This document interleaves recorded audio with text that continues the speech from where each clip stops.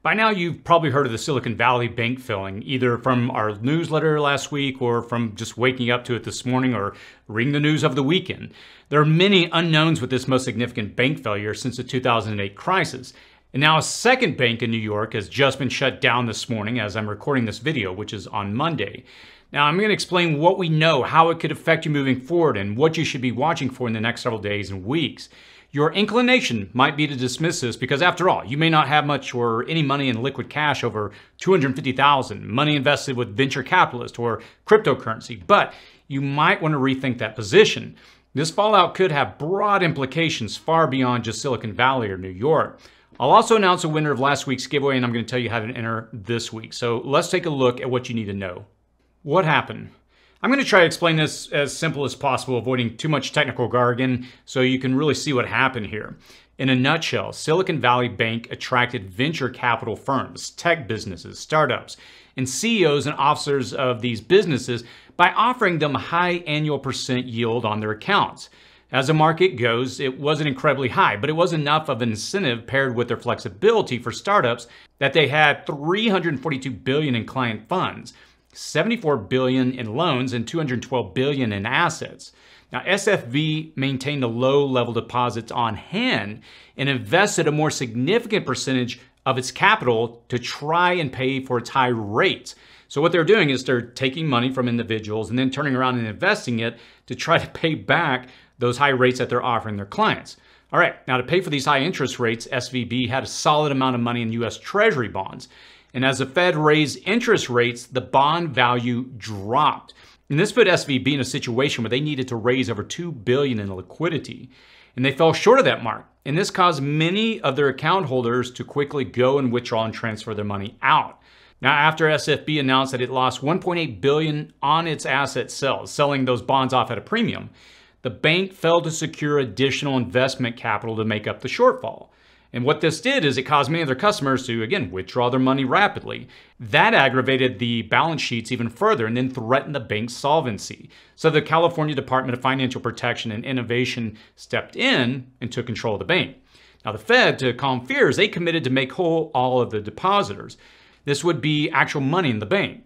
The Federal Deposit Insurance Corporation, or as we commonly know it as the FDIC, is an independent agency created by Congress to maintain stability and public confidence in the nation's financial system.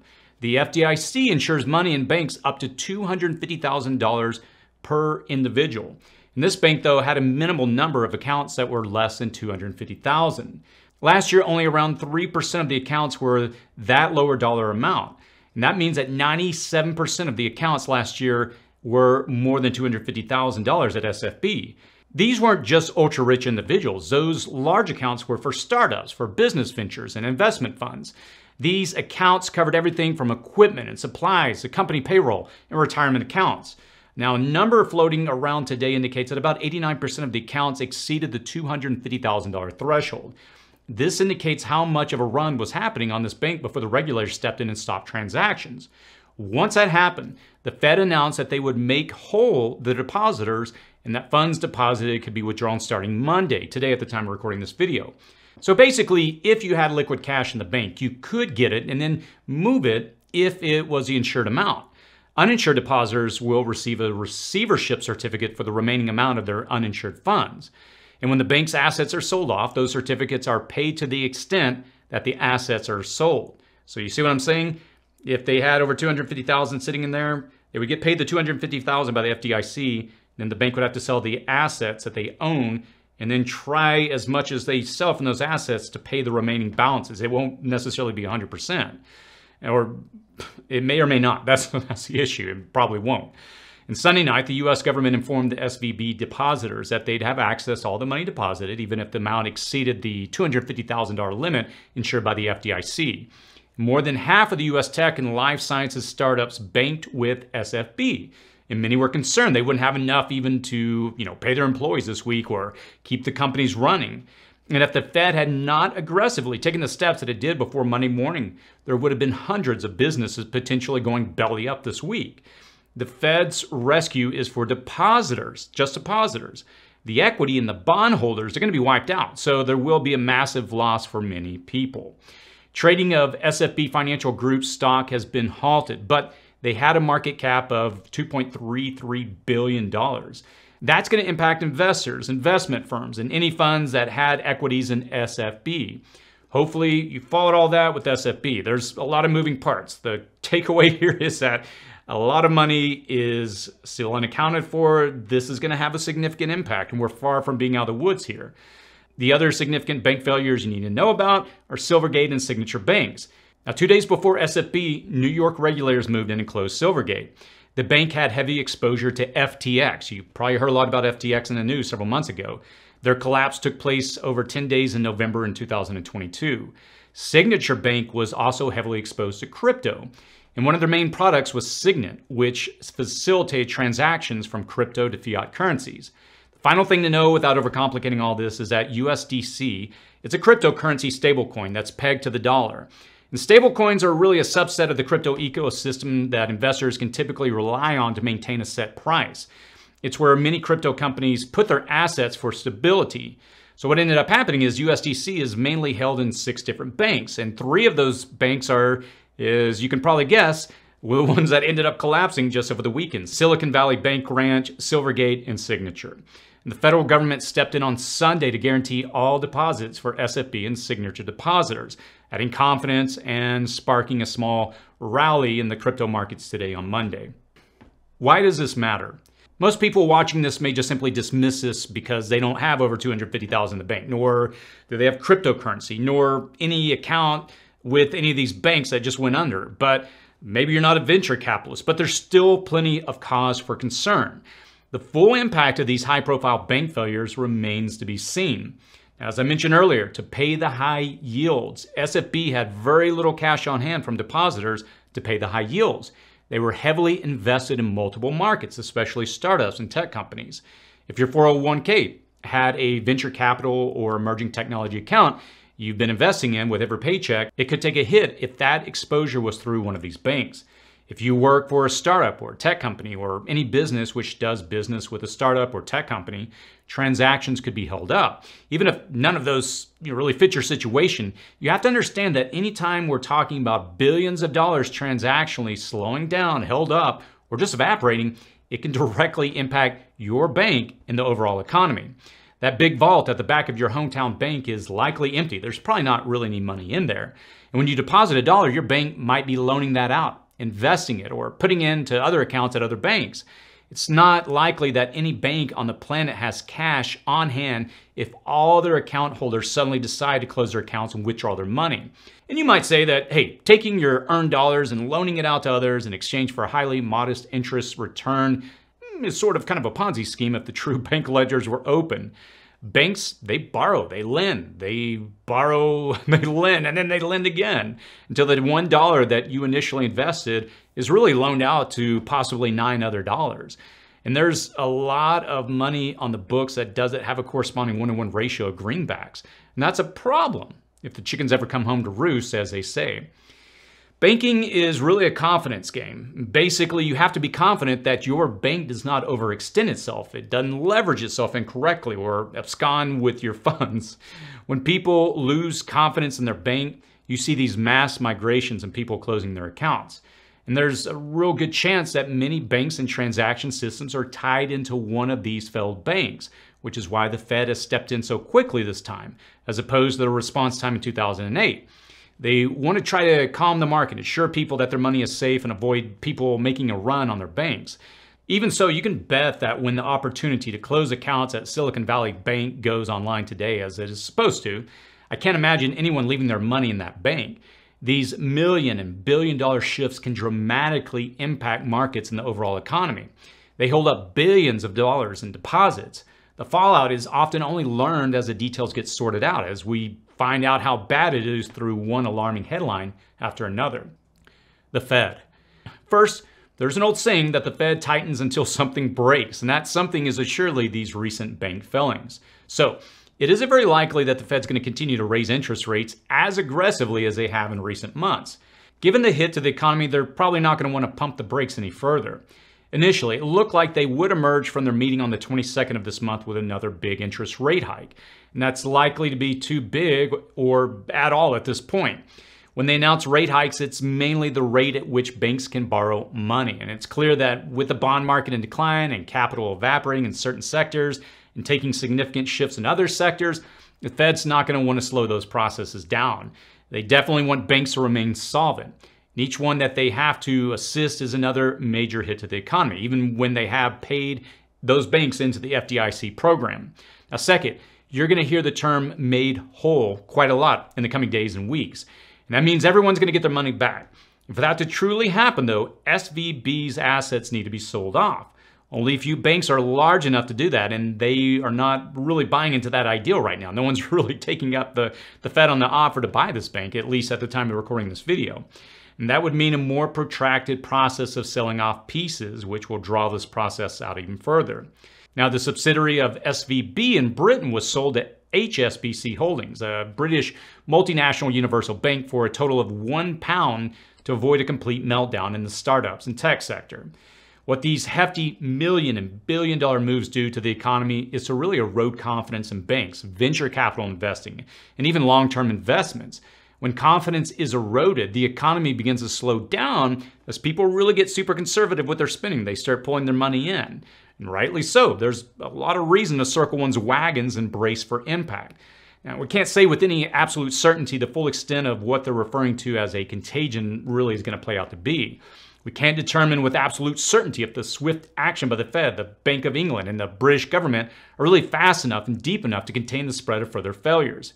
Each bank failure really sends ripples and shockwaves into the larger economic ecosystem. That's where it could have a dramatic impact in the coming weeks. We're already reeling from a global recession and global inflation, and this is only going to aggravate those further. If you're looking for a loan or line of credit in the near future, it's going to get much harder to obtain. The response will be politicians trying to stay ahead of this by proposals to regulate mid-sized banks, debates over the purpose and meaning of FDI insurance, and making investors whole. And lots of finger pointing and accusations, as is the norm. Right now, it doesn't really appear that this is going to equal to the meltdown of 2008 at the time of recording this video, but I mean, things could change within the next 48 hours. But it's going to deflate the economy and weigh on the economy for at least the rest of this year. One frightening part of the Fed move is that the government will allow banks to post collateral, mainly treasuries, as collateral to borrow against. Still, they will only be able to use the par value of the asset rather than the market value. The idea is that this will create solvency for the banks, but it really introduces significantly more risk into the system as there's really no guarantee that these treasuries will retain value, that yet the banks will willingly borrow against that risk. Now, in the aftermath of this fiasco, we also will likely see the FDIC limit raised significantly. The 250,000 limit is enough to make you or me whole again, as they say, but it is insufficient for modern banking. The Fed, after all, directly caused this event by holding interest rates at 0% for so long and then just aggressively raising them kind of seemingly overnight. It has left at least a few institutions holding the bag, and we may still see another bank unable to recover even by borrowing against their own treasuries. And as we know, disasters, even economic ones, are usually not caused by a single event, but by a series of events that typically compound upon each other. I would encourage you to watch the news in the coming days for any more significant bank failures, and we will, of course, keep you posted in our newsletter and videos. With the Fed not expected to raise interest rates after this crisis, inflation may not be held in check. Raising interest rates is one of the Fed's only tools to keep inflation in check, so expect inflationary pressures to continue. Also, coming out of this, you might see some people moving to crypto and away from more traditional banking systems.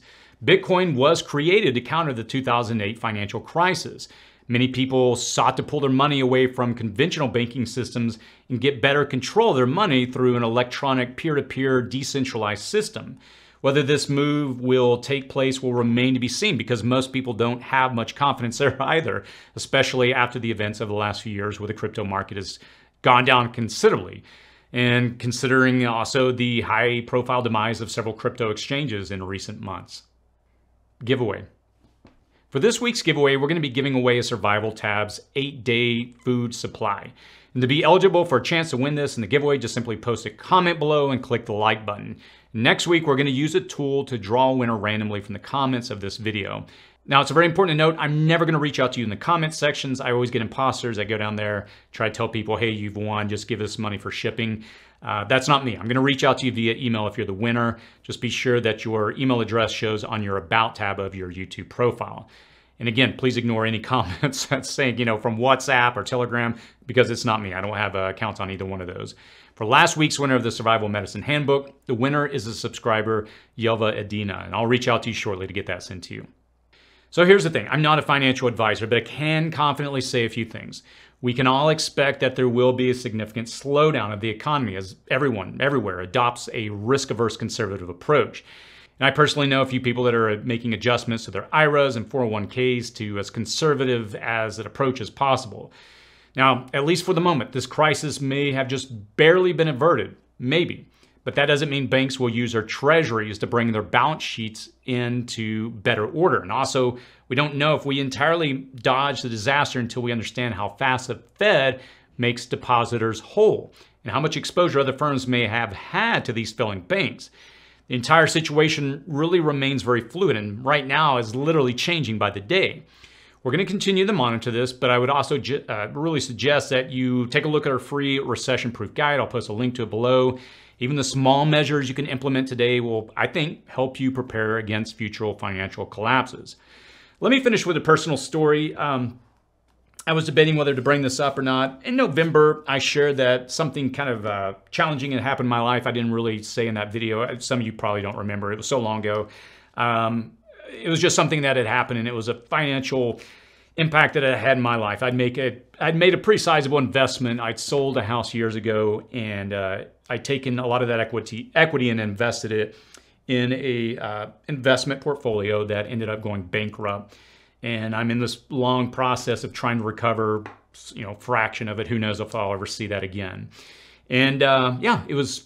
I would say it's kind of it was life changing. Looking up one day and you know a sizable amount of money that you had worked hard over 10 12 years accruing through the sale of a house and you know taking care of that house and then seeing it just you know you get scammed more or less it feels like that anyway uh, watching this play out at svb svb it feels very similar um, you know, seeing that just everyday people. I, again, I know a lot of it was businesses, but there was a lot of people, and there will be a lot of people severely impacted by this. So I take no joy in in watching. You know, the old saying, "Misery loves company." I, for me, I don't, I don't want to see other people hurt the way I've been. It's it's very very difficult. And this leads me to another point. I've had several companies reach out to me in the last uh, six weeks asking me to uh, promote their financial products on my channel.